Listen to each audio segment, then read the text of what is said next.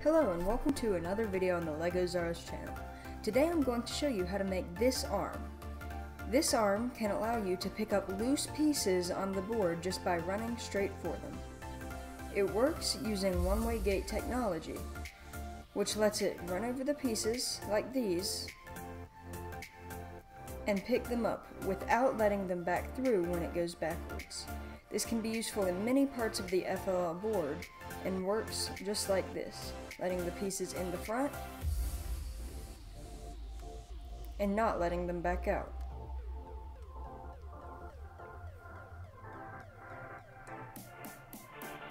It works using this mechanism. The arm is free to swing backwards, but when tries to swing forwards, it's stopped by this little piece. To build this arm, you'll need these pieces.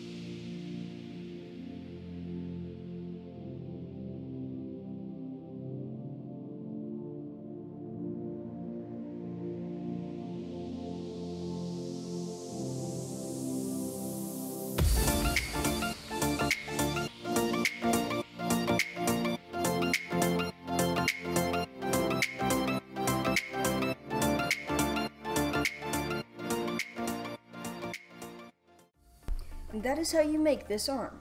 If you want to attach it to your robot, you can add an axle or anything else to this hole up here.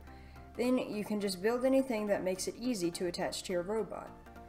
Thanks for watching, please like, comment, and subscribe.